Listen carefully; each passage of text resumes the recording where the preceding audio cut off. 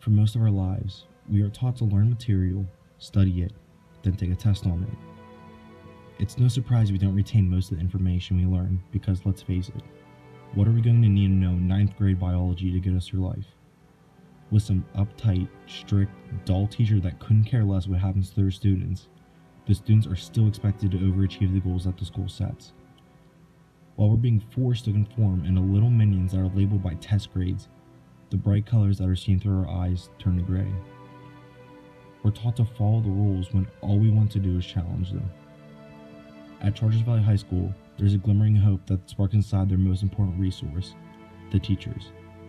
While there are many strict teachers inside the district, the key component of the school are the teachers that realize that the lessons we learn about life are more important than the ones we learn inside of a textbook.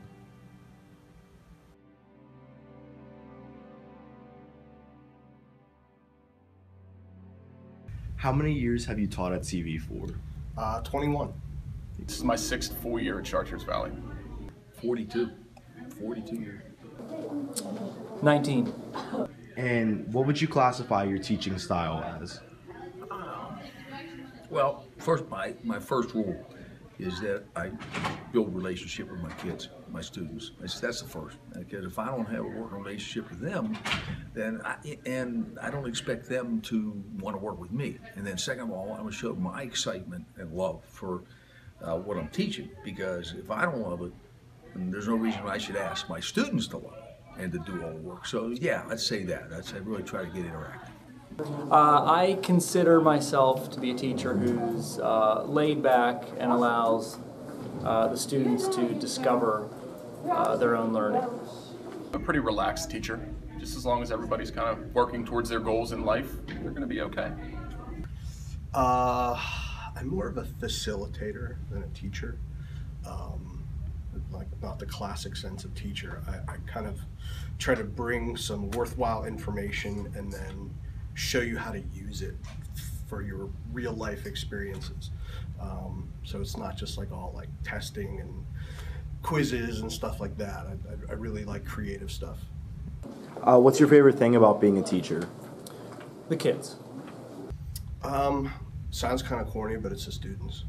Guys make me laugh every day. Can't have a bad day.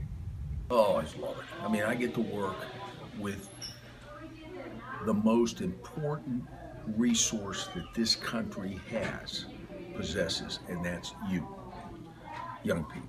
They are, they, I, we don't need all that other stuff. You're the resource, and I get to come in here every day and do it. Do you remember any influential teachers that uh, impacted how you teach? Yeah, um, I had some great teachers at, uh, at Baldwin High School uh, back in the 80s. I'm an old guy. Um, yeah, Mr. Bernardzi was a social studies teacher, and he was just super cool. I mean, I, learned so much. Um, and another social studies teacher, Mr. Mackey, um, he was just like really organized. Um, you would think he was like, you know, very traditional, but he would tell these awesome stories. And uh, I, I, think I took away, you know, some of those things from those guys. And um, my math teacher taught me that, um, you know, as long as you're trying your best, you should get rewarded for it.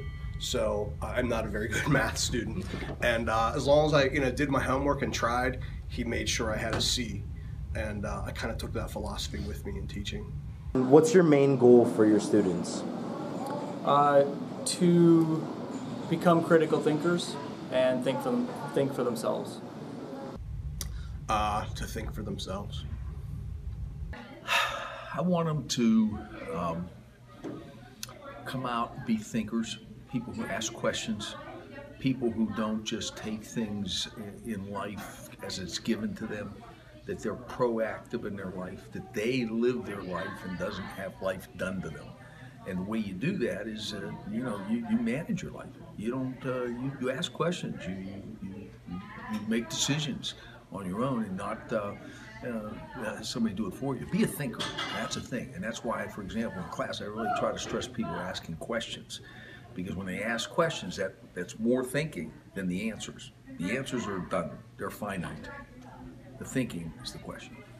Because of these people, students will be prepared for the real world and not some standardized test to be judged by. They're equipped with the power to think for themselves, the power to know right from wrong, the power to be good people because the power the next generation has is greater than any negativity a person, community, or country can give.